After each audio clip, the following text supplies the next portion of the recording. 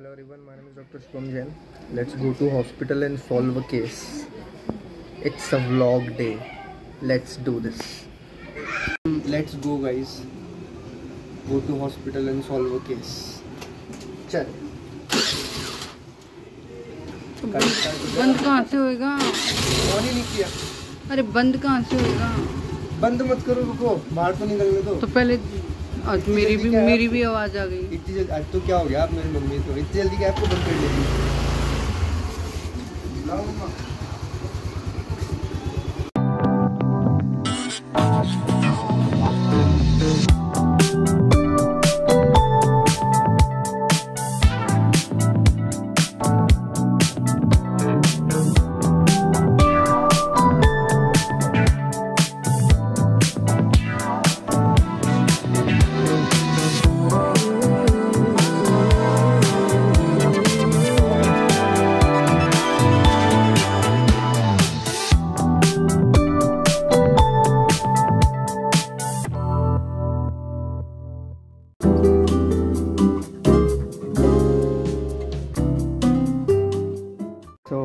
right now inside the hospital.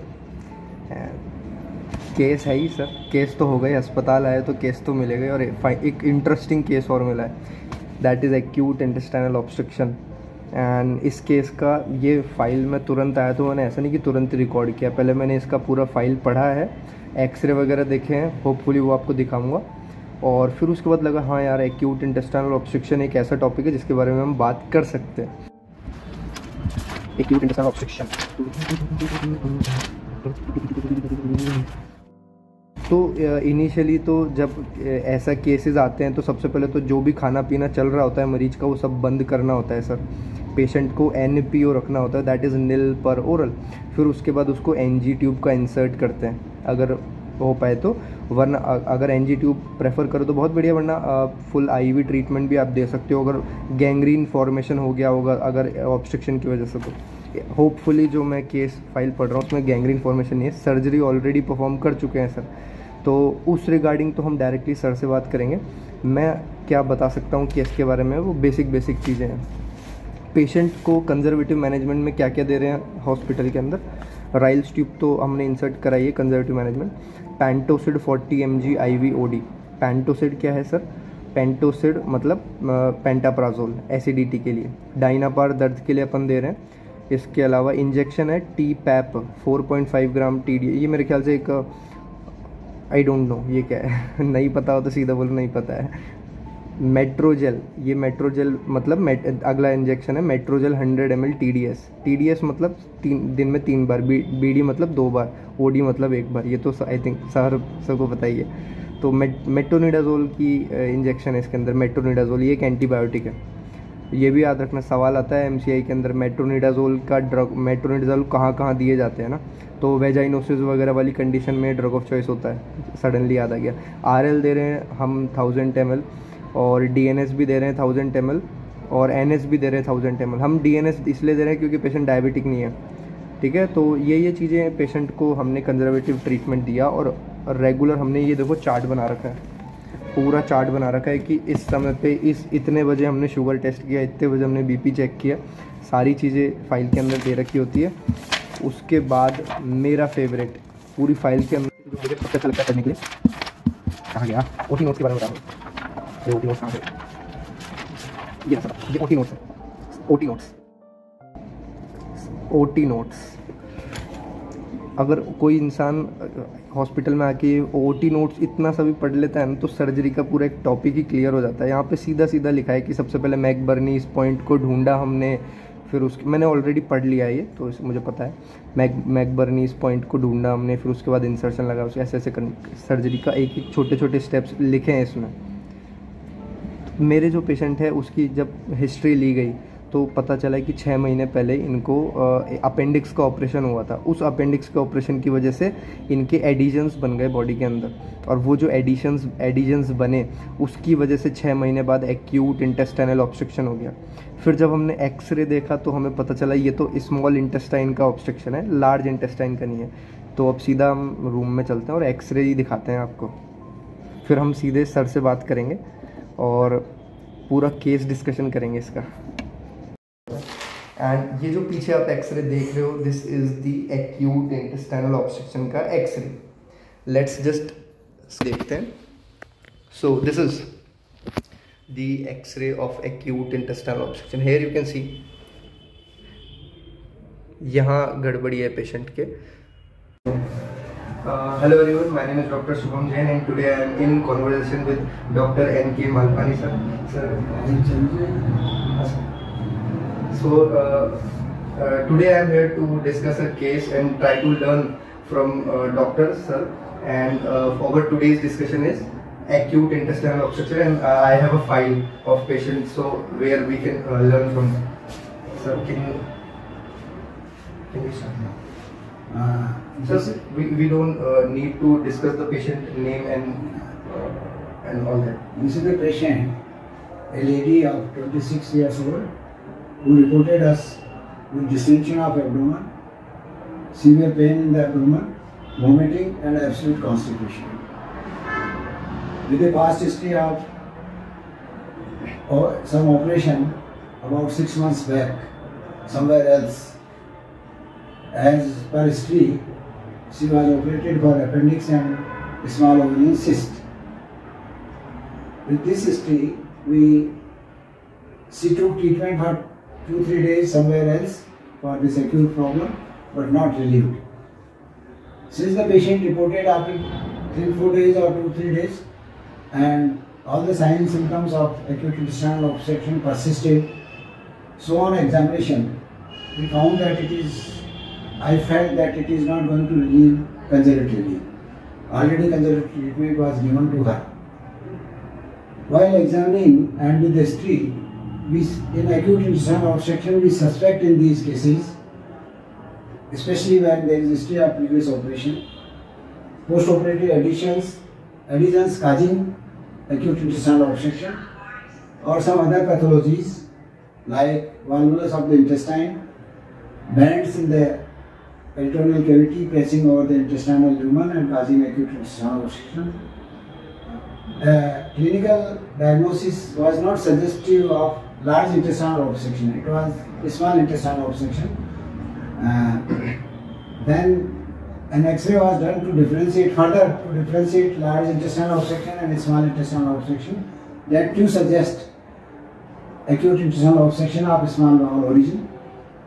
And in terms of multiple air fluid levels in the X-ray, and there was not a large level of fluid, etc., which we found in the um, large intestinal obstruction, and especially in sigmoid volvulus, there is a scooted tire-like operate appearance that was also not there. So, acute intestinal obstruction can occur in peritonitis also, but there was no evidence of peritonitis. There was neither fever nor toxemia. So, more or less, we thought it to be a post-operative adhesions because there was history of post-operation in last six months back.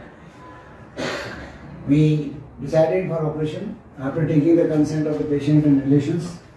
We took the patient to operation theatre under GA. We opened the abdomen by right paramedian incision and the incision was given a little lower down, more than the upper down because there was suspicion of postoperative adhesions on the previous scar which was present in the right iliac fossa. Uh, suggestive of appendicectomy, a gridiron incision on the McBurney's point, that was the appearance of this patient. Sir, can I can I ask you a question? Ah, right. Uh, sir, uh, after admission of the patient and before operation, sir, uh, we uh, in especially in acute intestinal obstruction, uh, new doctors like me, we have to uh, know the basics. For example, uh, we do not, we can't give food after uh, the uh, diagnosis. We have to do patient NPO, nil, nil per molar, and we also have to insert a Ryle's tube. So, how can a new doctor like me uh, handle a case like that in, in, in the beginning of my career? I, I, I did not mention in the uh, previously the conservative treatment which was given to this patient. In all such patients, a conservative line of treatment must be tried to relieve the obstruction. In more than 60% patients, in post-operative adhesions patient, patient relieves by conservative treatment and 40% require operation. What conservative treatment? The conservative treatment lungs, nothing orally, Ryle's tube aspiration because decompression of the obstructed intestine is a must to relieve the obstruction. And then once we are, patient is nil orally, so IV infusions should be given according to the need of the patient. Taking care of accounts suggestive of any infection, antibiotics should be given the conservative treatment. For painkiller, simple diclofenac sodium can be given. Antispasmodics should be avoided in these cases because they will further enhance the distension and obstruction. Uh, if not relieved by the diclofenac sodium, then tramadol or other painkillers can be added of higher grade, then patient will be relieved. The, there is a quite good relief of the pain once you put the Ryle's tube and decompress the stomach. So that is a very important part to put the Ryle's tube. And one should know how to put the Ryle's tube, that is a very important thing. Yes. Ryle's tube itself is a big subject. If I talk what Ryle's tube does, that it decompress the stomach. How to put I will tell some other time. It decompress the stomach. So distant pain due to distension is relieved. Patient becomes little comfortable and uh, due to distension of the stomach there is a rising of the diaphragm. Upper rising and that compresses the lungs. So respiratory distress is also there, that is also relieved. And once we de- decompress the stomach, then there is a reverse flow of the fluid, intestinal fluid to the stomach and the intestine gets decompressed. So further decompression gives relief to the patient. And in such patient when there is no infection and I want to stress at this point that sometimes there is gangrene. In patients who are gangrenous and the intestine gangrene is there, then there, there are certain signs which are very important. If it is impending gangrene, no pain reliever will relieve the pain. No painkiller will relieve the pain of the patient. Impending gangrene. Once the gangrene sets up, sets in, then pain will be relieved automatically and distension will be there. So that is important. One should watch. There is a tachycardia in these patients. There is a, uh, other signs of septicemia in these cases of gangrene. So once you think or diagnose that gangrene is there, then patient should be operated immediately so that further deterioration and multi-system failure does not occur.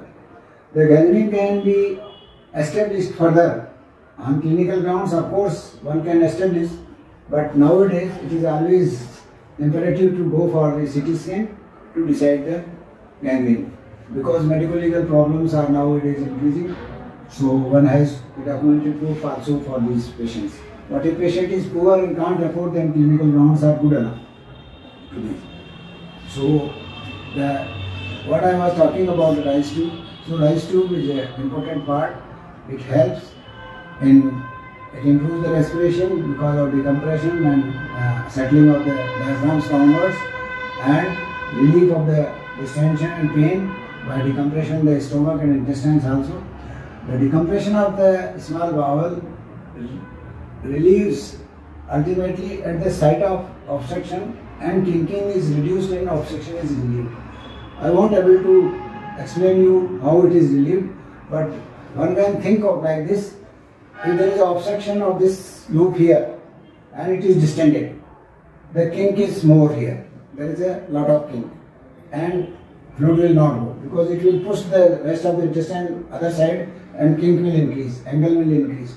So kink is more. Once we decompress and then intestine will become like this and kink will reduce, the acute angle will reduce and there are chances of relief. Then in these patients, we can add judiciously steroids as an anti-inflammatory. I am using the word judicious. One has to be very judicious because sometimes steroids may cause problem also. So a single or two shots of Dexona or prednisolone can be given. Solu-Medrol is another long-acting, uh, very highly active uh, steroid which can be given these patients to reduce the inflammation, which helps reduction in inflammation helps in uh, relief of the obstruction. So that is what about condition. Once the patient starts passing flatus and motion, that is serious relief. But here also I want to stress upon that sometimes stool and flatus is passed because of the movement of the distal wall that is distal to the obstruction and that should be carefully you should carefully evaluate the patient that that is not it should not be taken as the treatment or relief in the obstruction. Sir, uh, one last question, sir. Sir, uh, what are the diagnostic tests uh, uh, that we can uh, do before uh, diagnosing the acute intestinal obstruction? And one more question. Uh, what are the main causes that uh, we can point out that there are adhesion that leads to this intestinal obstruction? No, but the- For the first, I think that any patient of intestinal obstruction, there are clinical signs, absolute obstruction, the, the complete acute obstruction, that is aphasia. Complete obstruction is suggestive of, there are features, acute pain, distension, vomiting and absolute constipation. Absolute constipation, that patient is not passing flatus as well as stool. That is absolute constipation. These four features are very important for clinical history. When you examine, distension is there, loops of the intestine are felt on that when you palpate them, and while you are palpating, sometimes high peristalsis, gurgling sounds are felt under your hand. That is also. When you auscultate these patients, there are hyperperistalsis and sometimes tingling sounds are uh, heard. Tingling sounds are like that, but something is falling on the drum. Something, some water is falling on the drum, and that gives a noise or uh, voice of uh, tabla or something like that. So that is tingling sound. That is very important sign. And further, uh, there is a X-ray. You can go for an X-ray in standing position, which I already told you. Multiple air fluid levels are important signs in the X-ray, which helps to. Sir, USG or CT scan, sir, which uh, diagnostic test is better for this patient? The CT scan will be better. One can decide on USG also, but I feel that it is a superfluous uh, uh, investigation that will not give an accuracy of the diagnosis. Yes, sir. And sir, uh, in my surgery books, I also uh, studied that uh, sometimes tuberculosis of intestine can also lead to this So, problem. what you are, uh, what you asked that what are the various causes of acute intestinal obstruction? That one thing we have decided in this case by history that it was post-operative lesions. The other thing volvulus, that is twisting of the intestine on the dysentery. That is another thing. Infection, any perforation leading to peritonitis or peritonitis without perforation can lead to obstruction. Any blunt trauma of the abdomen may lead to obstruction due to hemorrhage in the peritoneal cavity. That may also, along with the perforation. Then tuberculosis, malignancy, and such other inflammatory diseases leads to obstruction.